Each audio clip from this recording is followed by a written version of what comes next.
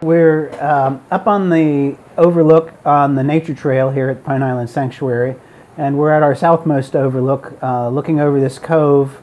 Uh, it's a windy day, so the uh, tundra swan and the Canada geese and the ducks have come into this protected cove to be protected both from the wind and the waves that are that are uh, kicked up by that wind. You're looking all the way across uh, Currituck Sound and the Pine Island marshes toward the mainland. Uh, Currituck Sound's about three miles wide at this point. Uh, it's also about three feet deep, so it varies from about a foot to six feet, but averages out at about three feet deep all the way across the three mile extent of the sound. Looking across at the lights uh, on the mainland, that's the town of Grandy. And uh, to our uh, left here, down to the south, is uh, the shoreline of the village of Duck. Uh, along that shoreline is where actually the, the swan usually spread out during the day in those shallows all along that shoreline to feed. Uh, they're just uh, closed in here for the day because of the wind. But they do come up into these marshes every night to rest, to sleep, uh, and you can hear them all night long talking to each other and singing out in the marshes. So it's, uh, it's an auditory experience as well as a vis visual experience here.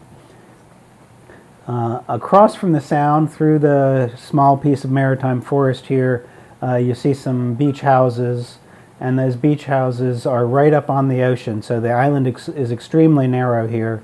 Uh, this area uh, was actually an area once dominated by inlets.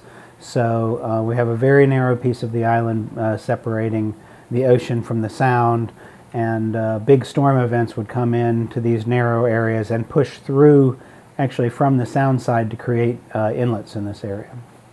The birds that you see out in the sound uh, today, tundra swan, who overwinter here and uh, fly north to the Alaskan uh, and Canadian tundra for uh, nesting during the summer. And what they're doing currently here is um, stocking up on food for that long migration north.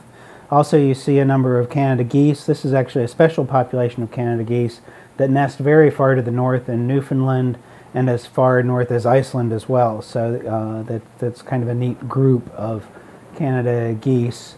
And the ducks that you see, all the smaller uh, black spots are black ducks and a mixture of bufflehead ducks, uh, which are very small little uh, uh, diving ducks that you find out here on the south.